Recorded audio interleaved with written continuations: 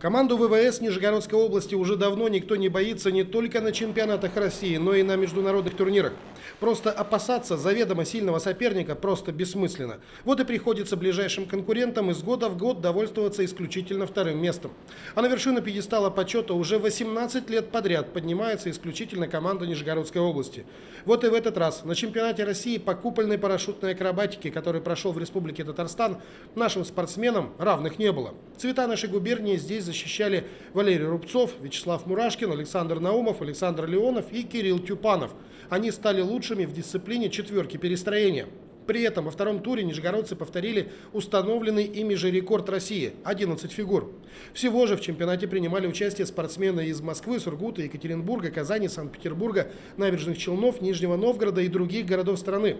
По итогам соревнований была сформирована сборная России, в которую, естественно, вошли и парашютисты из команды ВВС Нижегородской области. Они теперь будут выступать на чемпионате мира в Чикаго, который пройдет с 9 по 21 сентября. Григорий Жигин, Объективный спорт, ННТВ.